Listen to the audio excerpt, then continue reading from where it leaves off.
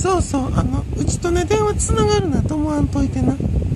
本当にその大事なこと特に法律問題。うん、訴訟に発展するような厳しい問題やったら文章送らなかった電話じゃダメ、ね、それ以外は大した用事じゃないから出ないうちは当たり前やろ。うちと喋れるなんて思わんといてな電話でなせやろおかしいやん電話でしない人と喋れるなんてな。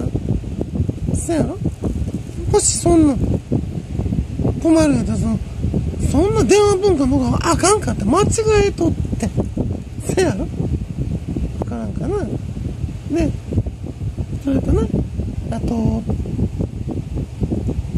防犯上の理由もあるしうちがどこにおるか分かったらあかんやろ。でしょ？それとま家族いや本当に深付き合いした知り合いでちゃんとうちのあの電話？帳とかまあ方方面帳とか何だっけ？な知り合いの手帳とかね？電話番号残ってないと。出れるわけないやん。明らかに他人やんからな。で特にこの携帯電話？は他人からの電話取らへんからなうち。な？ちゃんと電話帳に載ってないと。うちのな？取るわけないやん。危なすぎるやろ？しかも町内し。しかも日本どころか世界の最重要人物やし。どんな政治やどんな権力やどんな君主やどんな宗教から見てもうちが上位におるし。そして皆さんの一番下におるし。そして全ての中心におる主やねあなた方のそんなんと電話できたらあかんやろ知ら。ん人が電話できてへん人電話できへん人が不利になるやんかそんなアンフェアなことしたらあかんに決まってるやろでそれと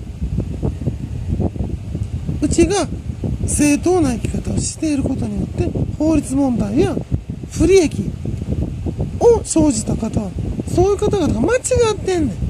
そういう方々が生き方改めなあかんし人のせいにしたあかんねんましてうちのせいにしたあかんねん言っとくけどな。うち逮捕した警察官すら危ないねんからな。言っとくけどな。なんでって。うちは日本国との間に極めて深刻な外交問題抱えてる。うちの方が日本の主。今の日本国は侵略王朝の後継国家やねん。これ国際的に今後めっちゃヤバなんでめっちゃまずなんで東アジア諸国すごくつきまくってきてるやろもうすでに。な？だから今までの日本のシステムや制度を鵜呑みにして教科書で習った通り鵜呑みにしてそれをもとに利権を作ってきた人はこの後破滅やでとるけどな悪いけどなそんなこともあるわな歴史の中でも。それはうちのせいじゃない。あんたらのせいや。